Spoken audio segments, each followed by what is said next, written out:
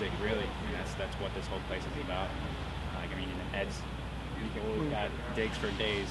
He's, he's got so much music, and every time like we're done playing, just like, hey, look what he's got here, look what he's got here, and then you go back and listen to that music, and then you apply it to something new that you might bring back to integrity. It's, just, it's a, it was a cycle. Sure. Um, yeah, I really, I've always really enjoyed playing here, even though I haven't been necessarily a part of the Hartford scene for like a long time. But um, every time I've come here to play on other people's gigs, it's been such a wonderful atmosphere. The people really love the music. That has been so instrumental in like really giving people a place to play and a platform. And also, I think there's like maybe 10, 15 CDs in my car, and all of them are from this spot right here. I've learned so much from just like hanging at this place and coming here, checking stuff out. Really unparalleled. Yeah, this uh, this place is special. You know, I'm I'm uh, I'm a Philadelphia musician, and the first time I walked in here, I knew that there was uh, a different energy about this place and about people that are here. Like I just walked in and was sort of overwhelmed with something different and something I wasn't used to, uh, actually, in, in a space. Uh, somewhere where everyone can be selfless. People can enjoy real art, um, both through records and CDs and through music. And, and that's something that's extremely special that um, is lost, you know, and this is gonna hurt. For somebody who's only played here a couple times with Andrew Wilcox, it's, it, it it's sad, and, and I'm I'm you know, but um, I could tell just from everyone's love of this place that it's it's um, special. So I'm, I'm sad to see it go, but um, I'm thankful for it. Let's get this shorty. Andrew. Hello. Oh, right? Yeah. Yep, and I can borrow. At one end, we were so. Yeah, that's Jackie's name. That's kind of crazy. That's like Jackie McLean Reeves. That is quick.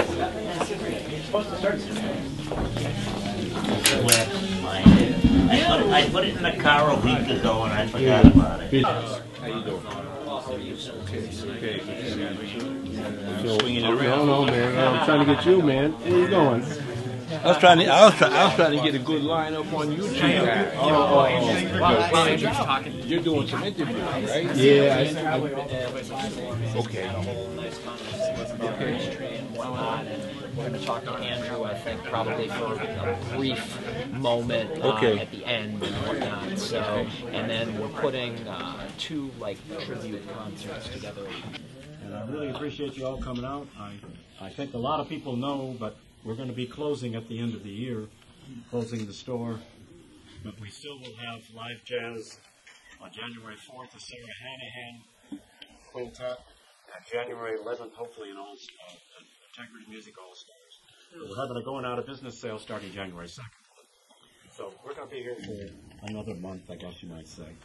But anyway, without any further, I'd like to introduce the band. Thank you. On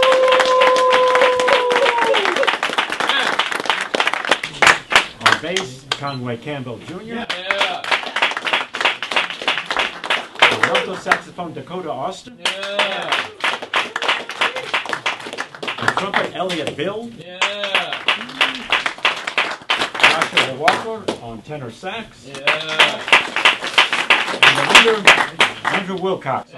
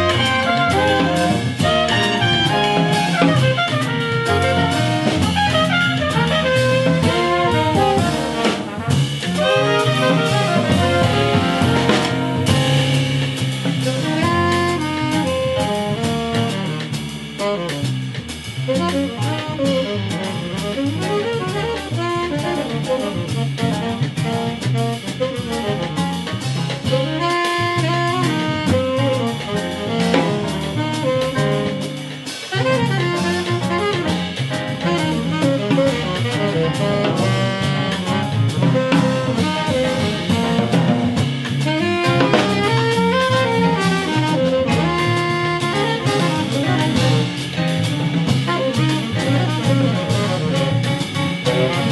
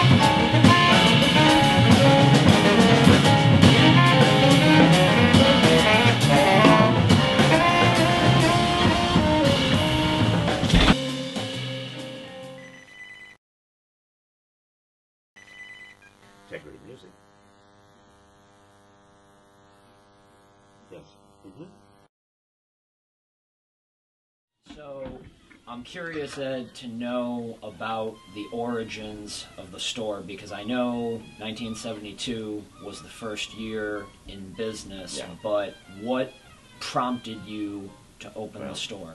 Uh, I was working at Travelers and a, uh, uh, a fellow Carl Sherman. And I he became we were friends and we started talking about music or whatever about and anyway we were both computer programmers and with Wow. long hair and beards and we didn't necessarily fit in at Travelers. But anyway, in February is when we decided, and we went and rented 800 Silas Deane for mm-hmm. $175.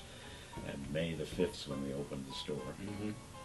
and that was the we we had, I quit. We both quit Travelers. By the time we got to Christmas, or in November, December, we realized that we were going to make it. Your partner and you were both hippies of a, of a sort, in, a, sense, in a way. in a sense, way. But, but I was into jazz, and he was into rock. Gotcha. In other words, when we opened the store, he Yeah. wanted to play Steely Dan, and, and Grateful Dead, Uh-huh. and and we played a lot of rock. I must say, at the beginning. But I probably pl- we had jazz. If you look at that photo there, you can see there's some of those two pictures of two seat, uh, two record sets, of like Gene Ammons, you know, on Prestige. Mm-hmm. Yeah. Those two record sets they had back in the '70s. yeah. We had that. We, we ordered all of that. So we ordered. We had jazz. Mm-hmm. I started off with listening to R&B. The Flamingos was one of the first records that I bought. Mm-hmm. Nice. In South Bend, Indiana, at the Al Smith Record Bar, and uh, and they had that's back in the days when new records were like a dollar ninety nine, dollar seven sixty nine. Shoot. And every all the records were open, so they weren't seats, you know, used. They were used records, yes, but they but anyway. Uh, but I was into R and B, but but I, I slowly got into jazz, Mm-hmm. and by the time I was in, you know, second year of high school, third year, I was uh, that jazz was my thing. Now, how long was Carl involved in He the was, business? he was with us for four years. Gotcha. We were together, and then he uh, he decided to to leave anyway, and so then it, that was mine, and that was, and then one more year, and then we moved up here and went to to a place about twice, almost two and a half times as large as we had when we started, and we we didn't take me more than a couple of years, or even probably a year to fill it up right away, and we were full. Yeah. you know, like like the pictures down there of our 30th anniversary, that was upstairs, Mm -hmm. you know. And you can see just by looking at it when they were there just how big it is. We had T-shirts hanging from the, you know, all those shirts from New Orleans, uh, Gear Inc. Mm-hmm. And uh, and the pictures of all Paul Brown was was there. Yep. That was a great thing. Anyway, Because I remember when I first came here, it would have been, I want to say, like January of 03, and you were still upstairs. Because the move, if I'm not mistaken, was it Very close 03 to or 04? pretty close to that. I Yeah. don't even know if we say it on there. It, from, from what I remember, it, Mm-hmm. it was we were. Let's see, we were down there for five years, Mm-hmm. and then we were here for twenty. From what I know, that was the 30th anniversary. Not too long after that concert, Mm-hmm. 72. Yeah, maybe 03 would have been the year I uh, we uh, we moved down. They moved us down here because the building was sold and the salon took it over, Mhm. and they wanted to redo where we were. Yeah. So I, I could either they'd either fix this up for me, or they would, uh, and I'd have to find another place. Right. So I said, okay, I'll take it down here. The records were just unbelievable. The People bringing in used records, uh, DJs bringing in promos. Uh, I had a very good friend who was a DJ in, in uh, did a radio show in New York, and, and he, he had guys, friends of his, who come up here and, and sell their records to me. Nice. And then I just advanced more and more, you Mhm. know. And this is also, I tell everybody, this is when uh, Wil- William Grauer Enterprises went out of business. And William Grauer Enterprises had Prestige Riverside, which later Fantasy bought all of it. But anyway, they went out of business and they had records in not necessarily record stores, but they had them in like a place like Shoppers Fair. We had them in South Bend, and it'd like a Kmart. Mhm. These and they had them for like 69 cents, 99 cents, and it was all jazz. Mhm. And so I started picking them out, picking them out. Mhm. You know, picking names that I didn't know. Mhm. And then there were some that I wish that I would have, you know, didn't realize who they were, but I was slowly getting into them. Right. I went to about five different places in, you know, one near Philadelphia, Long Island, Mm-hmm. Albany. These were all big warehouses, and they were distributors. But they, this was back in the day when they were starting to distribute. Uh, they had too many records, so they were making cutouts. Oh, okay. They were they were cut the little corner, and I was buying them for two dollars and selling them for three ninety nine, Wow. all sealed, and jazz like unbelievable That's awesome. and then and then the, and then the promos and so on and so forth. Mm-hmm. Uh, it was it was great.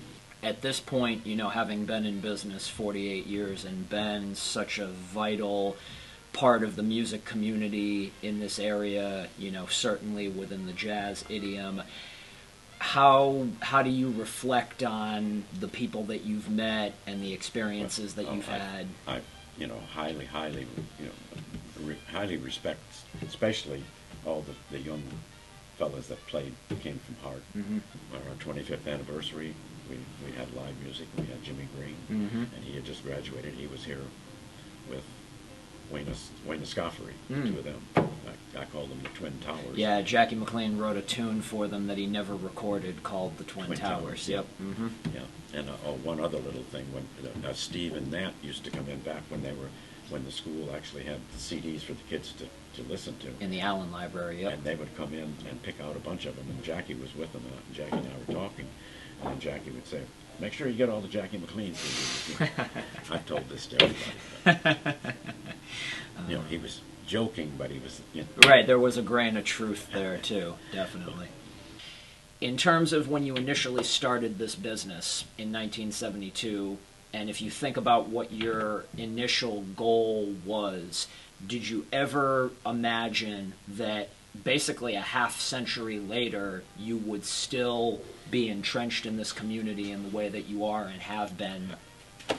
I, I, I'm certain, and I never thought of that, and I, I never thought of, of you know, I, I, I, I love my jazz and I appreciate it, but I never thought it would really, really, really, really be a, a major thing, and, and for for quite a while for the store, Mhm. and then the fact that we would have live jazz almost two or three times a week, Mhm. a, a month, I should say. Mhm.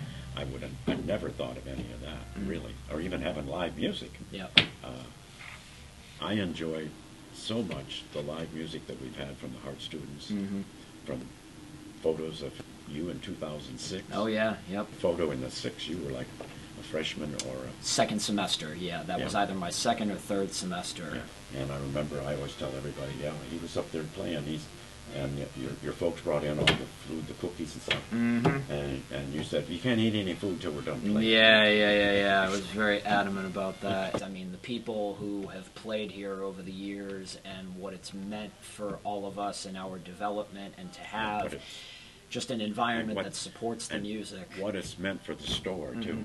It's Integrity Music Jazz Store is what I would love to be called. Okay, Mhm. but with this music that really brings it out. Right. And, and with the with the, the young men and women, Mhm. I should say. Yeah, totally, totally. hmm hmm Uh, it's been been a pleasure. Yeah. It's really been a pleasure, and and I as I tell everybody, I have hardly ever seen a group play here that wasn't up to a certain level. Right. Really. Right. There was nobody that was.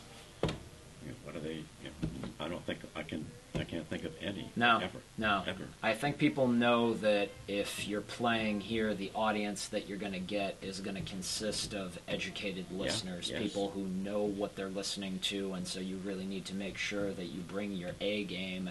And I think that, you know, for young students, whether they be Hart School mm-hmm. students or high school students from, you know, the Greater Hartford Academy of the Arts or any of the other area schools that have strong jazz programs, it's, again, that idea of a rite of passage where you're in an environment that really embraces the music, Yeah. that has a certain energy and ambiance around it.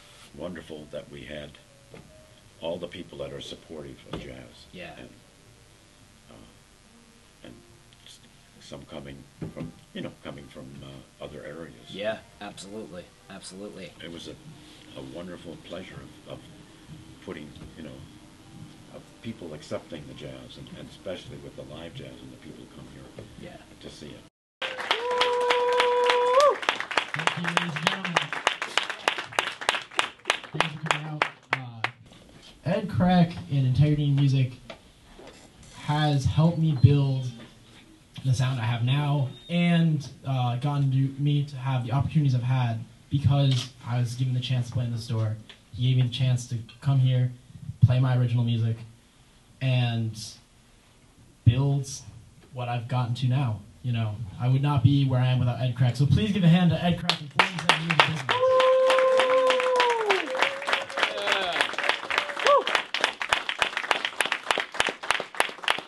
I mean, it's amazing because to have a brick and mortar business like this, which is independently owned and that specializes in jazz, Yeah. to be around almost into 2020, into 2020, Yeah. That's unheard of. I mean, it, it really is. Like, I mean, I've said to a few people recently, there are a few record stores.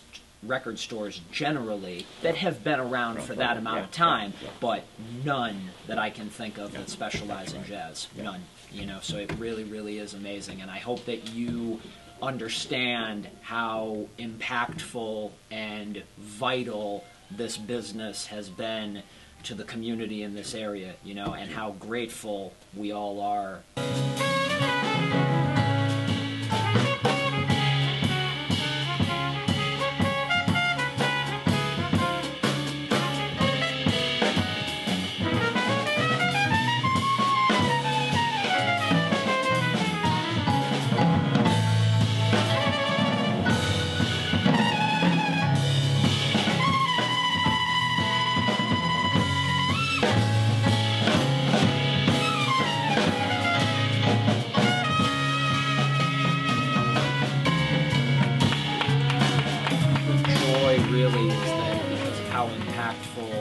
place like Integrity in Music was for all of those aforementioned musicians, in addition to a litany of others, the legacy and the mission of this business will live on for quite some time to Yeah. come because of the people that were impacted by it and the I hope- lessons that they took away. I hope I hope I'm around for a, for a while, while, long, long, long while. Yeah. And that I can still, you know, appreciate uh, appreciate the music and what goes on in it in, the, in this town and Totally. in, in Hartford, I should say. Mm-hmm. Mm-hmm.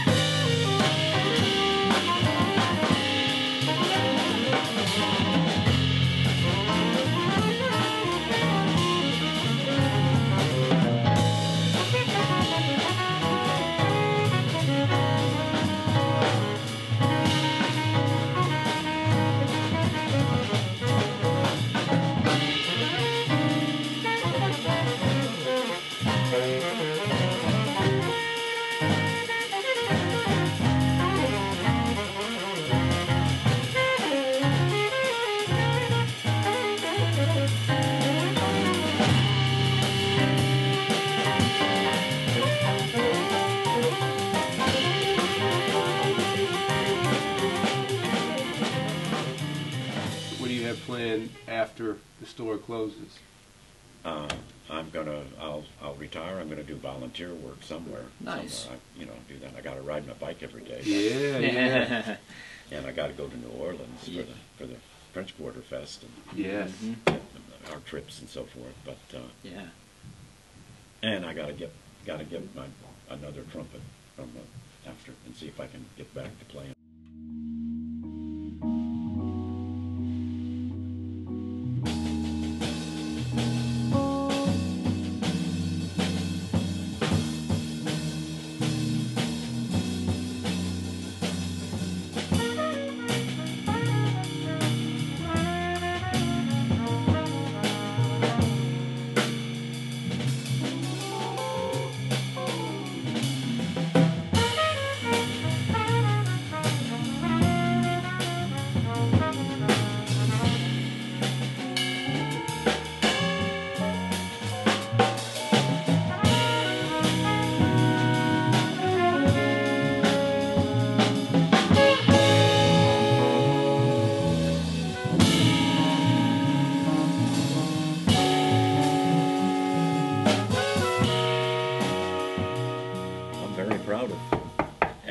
Everybody that has performed here. They're done a, something that, that I could never do, let's put it that way.